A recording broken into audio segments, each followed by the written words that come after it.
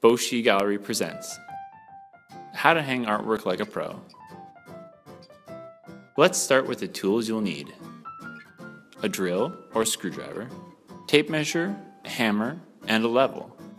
You'll need two picture hangers or J hooks, two D rings, and a pencil. Make sure the hardware you choose is the appropriate size for your artwork. Step 1 Attach the D rings. We place the D-rings between one quarter to one third of the way down the back of the artwork.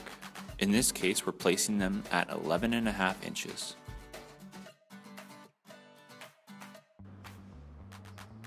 When installing the D-rings, we like to angle them towards the center of the work.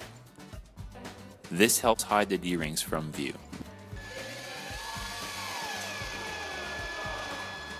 Step 2. Taking measurements. First, Measure the height of the artwork and divide that number in half. Ours is 48 inches.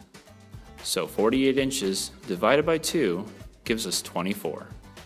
Next, measure the distance from the top of the piece to the center of the D-ring. Ours is 11 inches. Subtract that number from half the height of the work. So 24 minus 11 gives us 13. We will use this number to determine what height to install the hooks on the wall. As a general rule, hang artwork at an eye level. For larger pieces, we hang at 54 inches from the ground and smaller pieces at 56 inches. So 54 plus 13 gives us 67. Measure 67 inches from the ground and make a small mark. This is the height of your J-hooks.